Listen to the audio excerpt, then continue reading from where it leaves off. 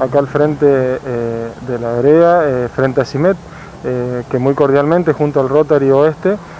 abrieron un cantero en la vereda y bueno, nos invitaron a ser parte de esto. Nosotros pusimos todo lo que es la mano de obra, el árbol puesto desde el vivero municipal, todo esto en conjunto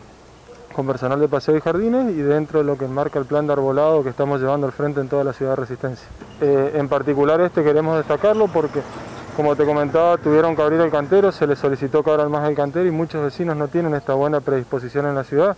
lo cual tenemos que corregir de a poco, ir apelando a ellos porque el árbol necesita un cantero de aproximadamente un metro 20 por un metro 20 para su desarrollo y bueno, en muchos lugares no los encontramos. En este caso tuvimos eh, el acompañamiento del vecino, de la empresa, como para abrir el cantero, eh, realizar los bordes y bueno, y ahora mantener el árbol, que es lo más importante. La verdad que por una iniciativa de la municipalidad nos sumamos a este proyecto de plantar un árbol, ¿no? En este, en este medio de esta pandemia, un poco el árbol significa la continuidad de la vida y bueno, y consideramos un acto muy importante, sobre todo que nosotros somos una obra social